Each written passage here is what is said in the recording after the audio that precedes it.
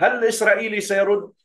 ما حدا عنده جواب طيب إذا رد هل سيكون الرد منخفضا لتخفيض التصعيد والخروج منه لأن المعركة بدت كبيرة ولأن الرهان على آه، أن لا يكون هناك يعني قدرة إيرانية وقدرة لدى حزب الله بالذهاب إلى المواجهة الأعلى آه، على طريقة لاعب البوكر يعني لأنه بيقول هاي الضربة لا ما انعملت إلا وراها حسابات خطيرة تعون نتفاداها وعشان هيك بيعطين الموفدين واللي هبطوا حيطان واللي يعرضوا عروضات وأنه يراهنوا إنها تزبط. ممكن آه، لكن هذا الرهان سيخيب وسيبدو أن قرار الرد خلاص محسوم ونوعية الرد مؤلم موجع آه، رادع. طيب آه، بيردوا بهالحالة؟ هل ما فتحنا العين على نقاشه من فرضية اختبار الأسلحة النووية التكتيكية وارد يعني المبنية على التقنيات النووية ولكن ليست ذات الاشعاعات المدمرة. يعني إنه اللي بيقولوا بتفوت القوات البرية بعدها بساعات لكن تدمر أعماق 300 و400 متر. يعني إذا المفاعلات النووية إذا الملاجئ الضخمة بإيران وسواها. هل هذا لأنه هذا سيستتبع ردا ايرانيا بأسلحة نووية تكتيكية. كيف؟ ما بعرف يعني صناعة إيرانية صناعة روسية. أنا رأيي هذا تفصيل يعني لكن الأكيد هيك حيصير يعني رد من نفس النوع. آه، ومتاح ومتوفر. إذا ايراني بده يعني آه، توقيع وإذا روسي بده توضيع يعني ف بكل الأحوال راح يكون رد من ذات النوع وبالتالي آه، لوين بنروح؟ يعني هاي كلها ما حدا عنده أجوبة عليها.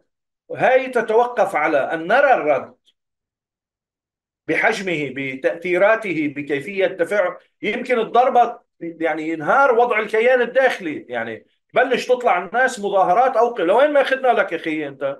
يعني رحت قتلت إسماعيل هنية جبت لنا السنوار. هلا عم تضرب آه، رحت قتلته بطهران جبت لنا البلاوي. ضرب قتلت فؤاد شكر يعني وإذ فتحت علينا أبواب جهنم. مش ناقصنا واحد مسطول يقودنا يعني فقد يقلع نتنياهو. لا نعلم يعني هلا اللي بيطلع مثلا بالنقاشات اللي صارت بالكنيسة إنه أحمد طيبي النائب العربي بالكنيسة ما عم يحكي من عندياته. عم بيقول فضية السوبر ماركات روحوا شوفوا أي ردع أي بطيخ عم تحكوا عنه الناس عايشة على المهدئات الأعصاب والناس يعني الواحد عم بيفرجي شو عنده صار اغراض بالبيت. ما مخلي شيء ما مخلي شيء نهائيا. خزاين الثياب مفضيها ومعبيها تموين ومعبيها مشروبات آه، بيبسي ومدري شو مأكولات ومعلبات و يعني آه، وبطاريات و فحالة الهلع والذعر والرعب معممة. خاصة أقفل هلأ مطار بن غوريون بسبب الخشية يعني إقفال كل الأجواء. آه، فأعتقد أن الاحتمالات مفتوحة وهذه حرب مفتوحة. قيمة الحرب المفتوحة أنها احتمالات مفتوحة. لا يستطيع أحد أن يتحدث عن حرب مفتوحة ويقول هي الحرب الكبرى التي فيها الدمار المتبادل للمدن. لا هذا أحد الاحتمالات. فيها الحرب الشاملة نعم اللي هي العبور البري يعني المحاولة الإسرائيلية لعبور بري. المعطيات بتقول أنها ستدمر لكن ممكن تركب رأسها قيادة الكيان وتعملها. يعني تقول بدنا نفوت على بنت جبيل بدنا نفوت على عيتة بدنا نفوت على مارون وهلأ غير 2006 بناء على شو؟ والله ما بعرف. عن جد ما عندي جواب ولو بطريقة تفكير فيها حد أدنى من المنطق إنه جيش تدمر بغزة. هذا بدك تفوت فيه على جنوب لبنان اللي زادت قوته 100 مرة بشريا وتسليحيا. بوقت أنت ما قدرت تفوت بجيشك 2006 اللي كان بعز وذروة معنوياته وبنيته القتالية وثقته بتحقيق النصر يعني بعرفش إذا في عائلة بيعملها بس على كل حال كلها حفله جنون عند الاسرائيلي يعني بحاله الانهيار بصير هستيريا. فقد تأتي بهم الهستيريا ويأتي الرد بالعبور. فهذه كلها فرضيات الحرب المفتوحة. نحن سنتابع ونراقب ولا ندعي القدرة على القول بوجهة واحدة يمكن أن تسلكها الأحداث. نبدأ مع آه، المونشات طبعا اليوم اللي قادر يتابعنا على الفضائية السورية عشرة ونص عندي يعني آه، إطلالي بعتقد حوار ساعة مع الأستاذة فاطمة آه، جيروديه وأعتقد أنه سيكون يعني حوار آه، يحاول يعمل إحاطة بالكثير من النقاط والفرضيات بالمونشات الحاكمات في الكيان يتوقعون الضربة القاضية بين 8 و 13 آب مع ذكرى الخراب. تقارير وتحذيرات أمريكية حول تسليح نوعي قدمته روسيا لإيران لمواجهة أمريكا. المقاومة في غزة ولبنان تصاعد ضرباتها واليمن يستهدف سفينة بانتظار الرد. كتب المحرر السياسي موعد وحجم ونوع الرد الرادع من إيران ولبنان واليمن والعراق محور اهتمام العالم والمنطقة كما العالم في حال حبس أنفاس. والكيان قادة وجيشا ومستوطنين في حال قلق وخوف وصولا إلى الرعب والذعر. كما تقول مخازن البيوت التي امتلأت بما تم تخزينه من موجودات المخازن التجارية. رغم حالة الإنكار والمكابرة التي تعبر عنها تصريحات رئيس حكومة الاحتلال ووزير حربه ورئيس أركانه كلهم عم بيقولوا لنا أنه هن يعني بجوزية تامة لكل الفرضيات. بدي روح معنوية عالية واستعداد لمواجهة مفتوحة على كل الاحتمالات. ولكن معلوم أن الذعر قائم. واشنطن التي حشدت جيوشها وأساطيلها وأعلنت التزامها بحماية الكيان من خطر الردود المؤكدة الآتية كما قال قادة إيران والمقاومة هي أيضا تعترف بخطورة الموقف. وإلا ليش ترسل المبعوثين؟ ليش ترسل الوسطاء؟ فرنسي لهون وأوروبي لهون وعرب لهون إلى طهران إلى بيروت إلى مسقط وصولا إلى صنعاء حاملين عروض حاملين إغراءات آه، إذا فشلت التحذيرات التي آه، يطلقونها بالحديث عن مخاطر التصعيد.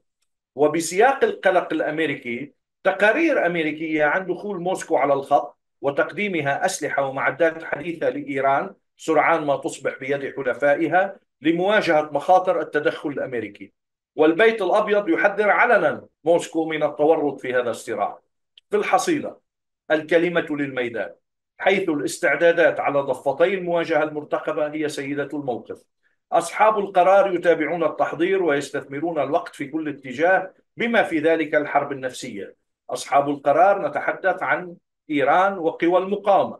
أما الحلف الأمريكي الإسرائيلي الذي جند بعض الغرب وبعض العرب فليس أمامه إلا أن ينصب بطاريات الصواريخ يفعل أنظمة الرادارات ويبقى منتظرا متى تبدأ ما يسميها هو بالأمطار الصاروخية. غموض موعد ومكان ونوع وحجم الرد مقصود من إيران وقوى المقاومة. لكن الحاخامات في كيان الاحتلال يتحدثون عن شيء آخر. يعني الحاخامات بكيان الاحتلال يتحدثون عن رد مرتقب في موعد بين 8 و 13 آب الحالي أي ما بين اليوم ويوم الثلاثاء المقبل حيث تحل بين هذين اليومين حسب التقويم الذي يعتمد في حساب الأيام آه، ذكرى الخراب الأول والخراب الثاني والتحسب لمخاطر الخراب الثالث اللي هن بيتوقعوا عول الحاخامات إنه بده يتم بحدث زلزالي كبير. بيقولوا هلا هو ضربة إيران وقوى المقاومة وإنه هذا الحدث الزلزالي مثل الأحداث التي أودت آه، بمملكة بني إسرائيل بالخراب الأول والخراب الثاني عم نحكي قبل الميلاد يعني 2500 سنة آه، آه، بيقولوا إنه هالحدث الزلزالي بيجي بسبب رعونة وتهور ونزاعات داخل الكيان وإضعاف لوضعه الداخلي بسبب ملوك يعني أودوا بالمملكة إلى المقتلة وبيذكروا بأنه الخراب الأول وقع على يد ملك بابل نبوخذ نصر والخراب الثاني وقع على يد الإمبراطور الروماني تيتوس إثر نزاعات وضعف داخلي وخطوات مغامرة غير محسوبة لملوك بني إسرائيل. هلا بجبهات القتال المعلومات يعني متداولة وواضحة مش راح أفصل فيها، عمليات نوعية للمقاومة من جبهة لبنان، عمليات نوعية كمائن مركبة في غزة وبأدوات آه، بدائية آه، اليمن يستهدف سفينة جديدة فيعني جبهات القتال بعزها والحمد لله.